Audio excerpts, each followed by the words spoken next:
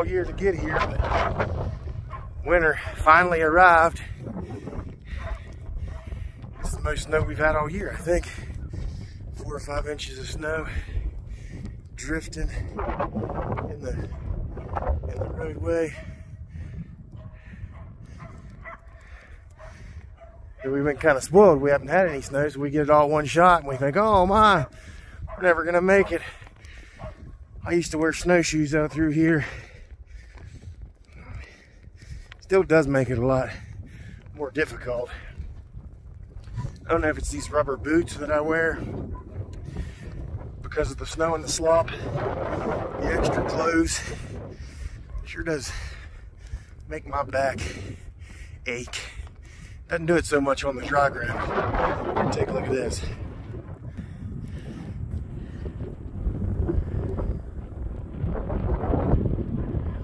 Now those things used to fill up. I mean, when we've had the big storms in 03 and we had the snow in 2009, 2010, we'd have snow drifts clear over these fence posts. So this ain't nothing, but you can see that that snow blows out of that field down across dumps over that little bank right there and just fills this roadway up. So we can't get our trucks out here. We couldn't get any machine out here. It's not so bad now. We might be able to, but generally you can't. But uh, used to walk along that field right there. You see there's no snow in that, but even sometimes the sometimes the snow gets deep even in the field. You know, gets fills this up, so you gotta walk way up in the field up here, wear your snowshoes until you get a good path crunched down. Keep sinking and picking them back up. But we haven't had a winter like that in a long time. So I'm not complaining too much.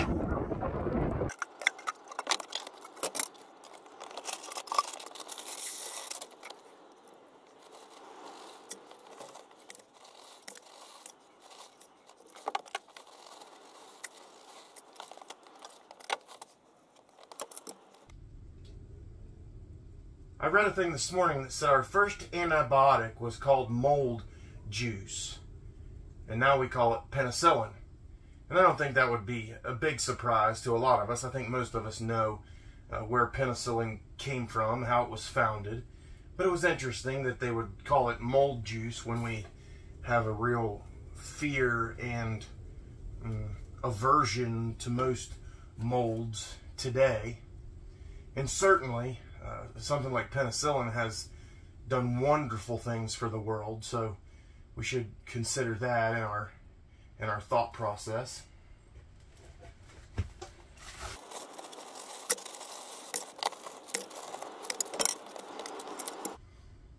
I think I would define me and my family and our thought process, our theory, even though I have two, da two daughters that are going to be nurses or are nurses, um, our thought process is to not overuse medicine, not to avoid it like the plague, but to use it wisely, not to overuse antibiotics, not to overuse uh, drugs and treatments of any kind, but how can we naturally come over this? How can our body be prepared to defend itself uh, against things that we're going to encounter?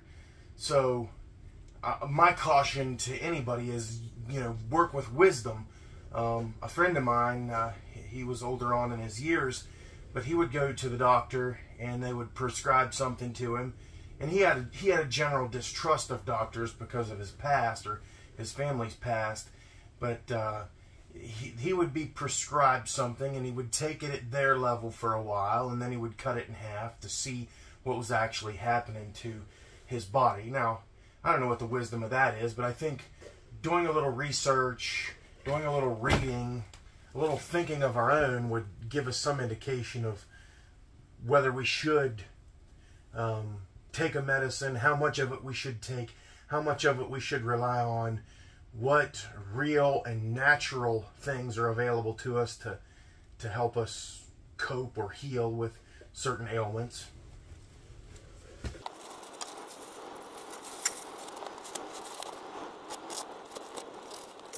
And we would generally have that same theory, same thought process with, with most of our animals also.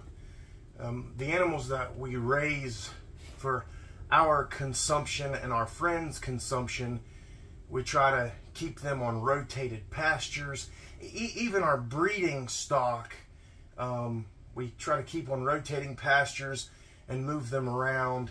And you can really see the problem when you start to restrict an animal or confine an animal. Our sheep will do remarkably well as long as their pasture is moving. As soon as we have to restrict them to a specific area, that's when parasites become a problem. And we try to develop uh, strength in our flock that they wouldn't they wouldn't need wormers because as soon as you get a sheep that's dependent on wormers, then you're just going to be battling it forever. Much better that we keep a rotating pasture and a rotating group of animals. We have the cows and the sheep, different parasites, and uh, they kind of help to kill each other off. So most of the year we have zero concern for parasites. And if we can develop this, it's a little difficult in the snow, but if we can develop this to where we don't need to confine them, we don't need to uh, keep them in a smaller area and feed them in, in a regular spot, we won't have any problem with parasites. But now, because we have to bring them in to the shelter, we don't, they don't really need shelter, but we bring them into the barn closer to the hay. We feed them there, and they're all congregated together, and it just is a just continual cycle of just being on the same ground over and over allows the parasite uh, to gain to gain a foothold. So the stuff that we eat, we try not to give any medicines. We try not to give any any antibiotics, anything that we wouldn't uh, we wouldn't want to have ourselves. And 90 95% of the time that's great. But I think we would use the same thought process. An animal gets sick, how can are there are there remedies that can be used that can help us without going to manufactured antibiotics?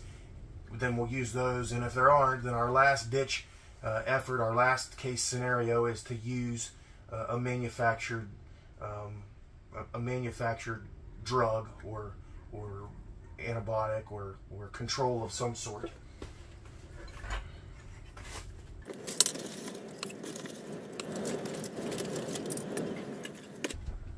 Now the interesting part is trying to live in a space that occupies two worlds because in one in one way in one world we pasture raise our animals which allows us the freedom to not need as many antibiotics not need as many control mechanisms. Um, we move them around every day. You'll get to see me in Madison doing that with the chickens and the cows and the sheep and uh, maybe even pigs uh, if we if we get that far along. Uh, maybe even the turkeys. We may try some of that uh, with them as well. Same thing with garden plants. I mean, we we just generally have that theory, but also not so much to cut our nose off to spite our face. If we see a problem, then we're going to have to try to address that in some way. Um, Greg Judy reminded recently of his area and his situation that he does vaccinate for blackleg um, because it would be terrible to be arrogant and say, I'm not going to do this, and then wake up one morning and everybody's laying dead in the field. So we're going to use common sense and we're going to do our best to, you know, try to try to use natural remedies and natural controls. But living in two worlds, our show stock, on the other hand, because they're kept in a more confined area, they're fed differently, they're cared for differently. In, many ways, they're a lot stronger, and in some ways, they're weaker because they're more susceptible to, you know, they're getting more feed, they're getting more nutrients in that regard. Maybe, you know, they're probably like me, a little bit too fat, really. But overall, they have this more controlled diet more variety, more mineral probably available to them. So they get a lot of benefits. But on the other hand, they're they're right there uh, in a confined area, more susceptible to parasites, and you have to watch over them a little more. So we do have to, uh, because of because of what their purpose is. Their purpose is to go out and show them and to, you know, mold them into what the industry standard uh, says that that it's looking for.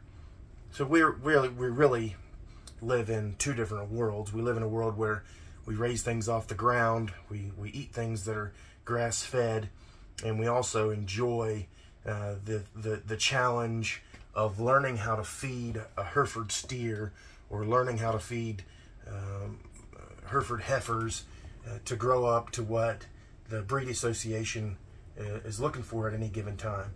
And, you know, that's a big challenge. There's a lot of people doing that, but we're just learning, we're figuring it out. We have a good time with that. You see me measure out all this feed, that's just that's just for them. That's just uh, we balance out their diet, give them a certain amount morning and night. Uh, they get different things in their feed to help them grow in specific ways that we are less concerned about with our field stock, our breeding stock. So you'll you'll see a lot of that, and you'll get a you know get an introduction to a lot of that. But all this conversation started with just that idea of penicillin, mold juice, and what our relationship to antibiotics and, and drugs, pharmaceuticals ought to be. Now, I certainly think we are blessed to live in this country, and we are blessed to live in a world that has had so many advancements. But I also think there are probably a, you know a lot of bad characters out there that try to misrepresent um, the the neediness or the effectiveness of drugs and antibiotics. So we have to be wise and, and have good understanding. And the, you know what brings us about today is two, you know, one is the little thing that I read this morning about mold juice, and the other is uh, listening to a radio program from a couple days ago where they uh, talked about you know an amazing uh, amazing bipartisan moment in American history where everybody, House and Senate, everybody agreed, everybody voted to order the Biden administration to declassify documents relating to COVID and the Wuhan lab and uh, the origination of COVID. So that's a process that'll play out, and it's I don't. This is no political conversation. Certainly, I have a political stance, and so do you, and that's fine. We can live in that world because you know at the base level, most of us uh, walk by each other. Most of us could sit down at the dinner table and enjoy dinner together without uh, wanting to come to fisticuffs over our politics.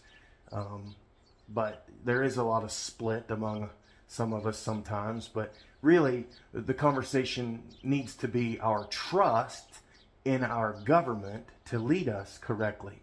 Because all through that COVID uh, debacle, um, yeah, a lot of people got sick and quite a few died. I don't know how many those could have been spared. I don't know how much of that uh, uh, was necessary. I think there's so much double speak and so much, um, so much contradiction that we just can't believe anybody. And I think today in this world, a lot of us just have a general mistrust or distrust of, of, of our government. We, we should, you know, with all the advancements that we have, and this being a government uh, of the people, by the people, we should have a relative, you know, security and you know allowing them to tell us what is uh, what is good and what is not.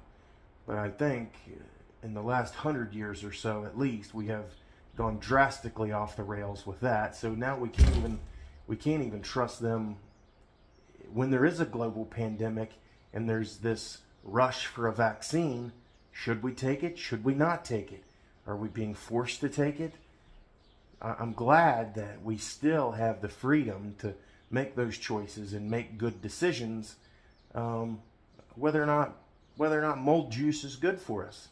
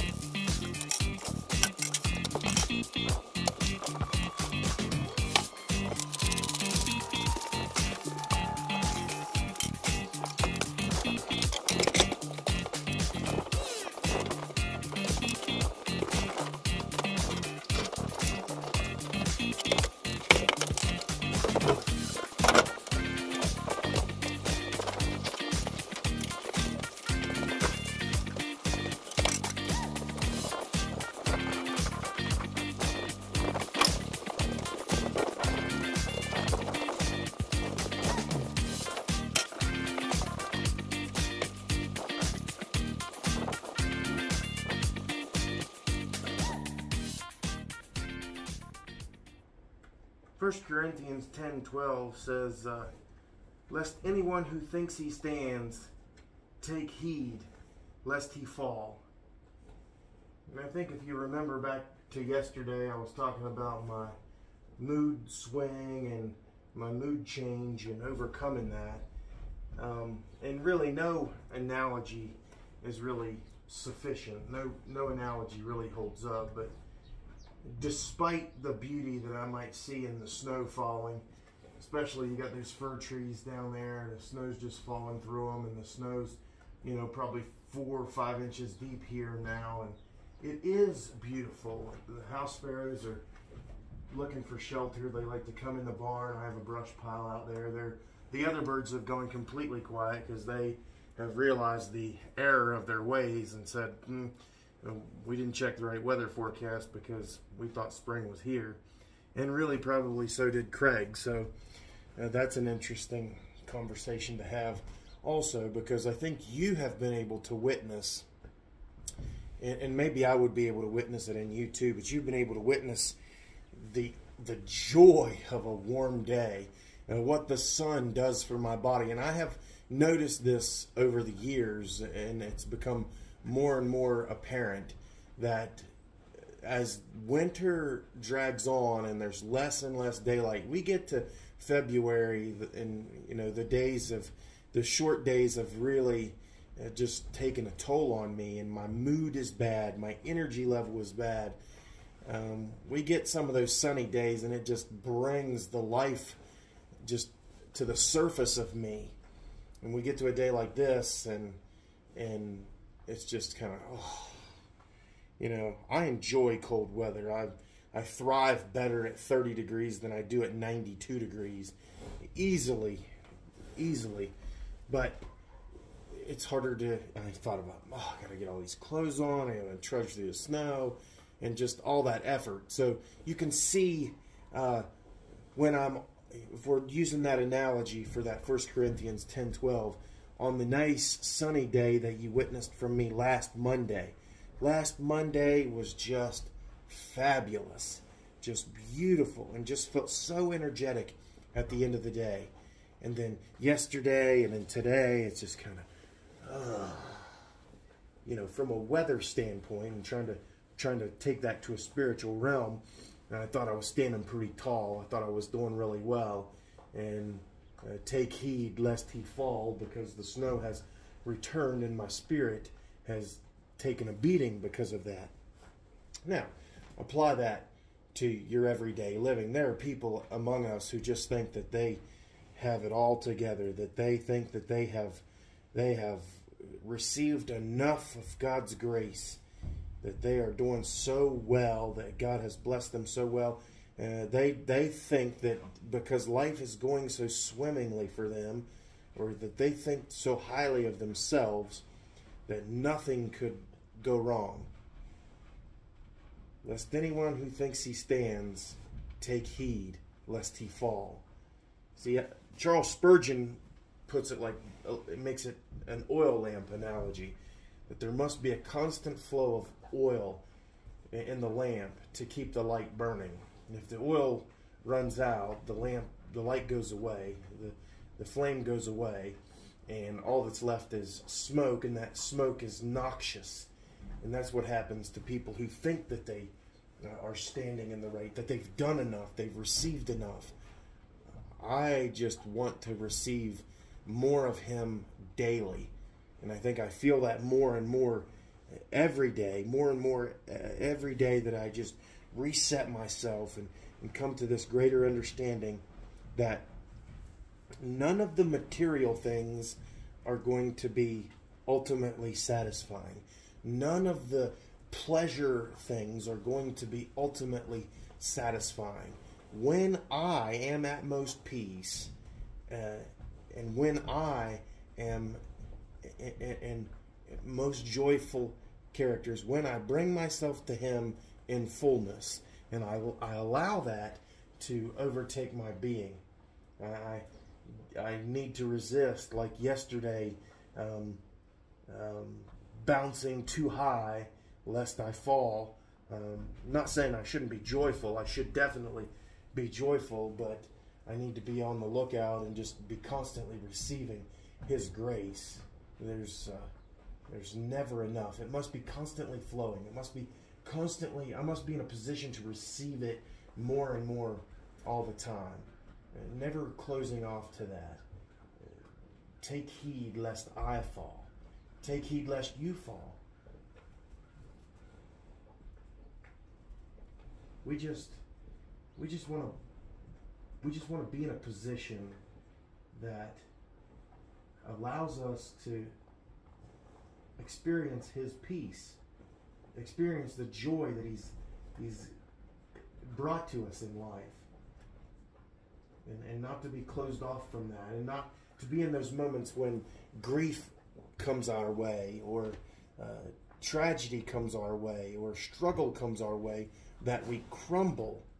No it's in those moments that we are most strengthened because he he has we know that he has promised us eternal life we know that he's promised us things beyond this world if we're not clinging to that i don't know what we're clinging to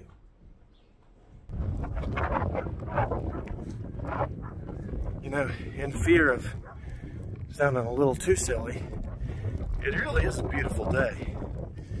And I still yet enjoy getting a little frost in the beard. I still enjoy that bite of that cold on my fingers. I enjoy that kiss on my face.